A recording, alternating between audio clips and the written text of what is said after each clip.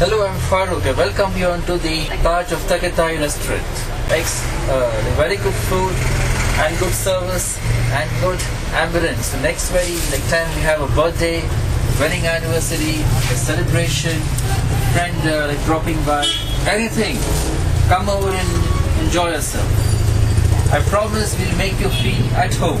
Yeah. Okay. Now I'm actually going to be uh, showing you a list of the restaurants in Bangalore. Next time you come to Bangalore, now it's not uh, going to be as good as another restaurant at Philippines, but uh, like on the, uh, the top list we have the hotel called as Chansiri. It is on the left road.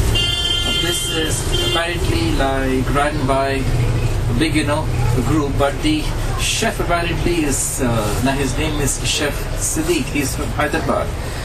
Uh, now, if you're looking at buying some very good Indian food, then you could uh, either try the Hyderabadi one or the ones which are made at Lucknow. That is more like the uh, in north of India. It is actually a part of the you know typical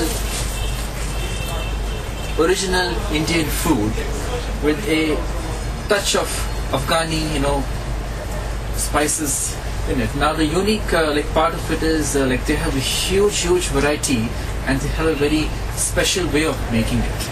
As I was saying, if you're like talking about the Indian food, the grandfather is the mutton biryani and a grandmother is butter chicken. Apparently, you know, like uh, he has two, uh, what do you say, friends call us butter naan and tandoori naan. And their two children. Are, or rather I should say there are three of uh, another children, is the mutton seekh kebab, chicken tikka masala, and and of course the evergreen tandoori chicken. Now you'll apparently find this in every hotel across India, if it is a street side hotel, a one star onto a five star hotel, or even those very extravagant like Taj and stuff like that, where each plate of biryani is an exorbitant of 750 rupees.